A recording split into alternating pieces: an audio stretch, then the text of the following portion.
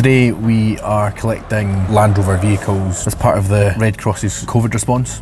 I think there'll be a variety of different uses. Going out to do independent living, checking on vulnerable individuals as emergency response will be, be there to support the communities and individuals.